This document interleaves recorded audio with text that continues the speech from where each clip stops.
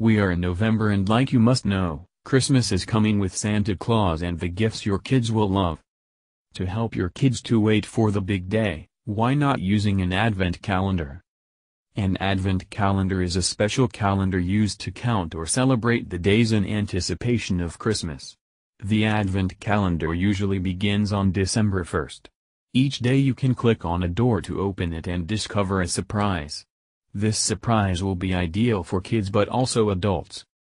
With Christmas Advent Calendar for Android, you are going to have your own Christmas Advent Calendar directly on your smartphone or tablet.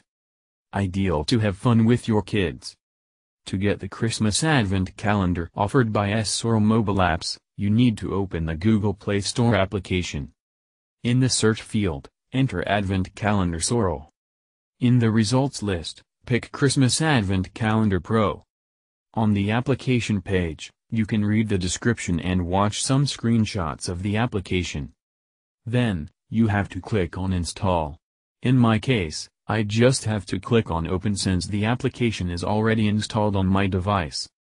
Once the application is launched, you can discover the Christmas Advent calendar with the number of the days. Each day, your kids will be able to open the door by clicking on it to have a surprise.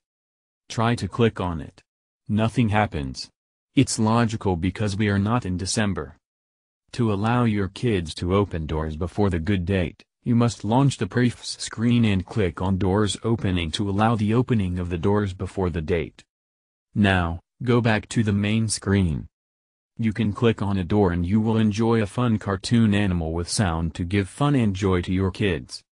If your kids open all the doors before Christmas, you can choose to close all the doors by clicking on the refresh item in the action bar.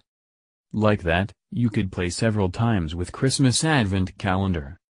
This year, Christmas and December will be fun and digital. Now, it's your turn to play.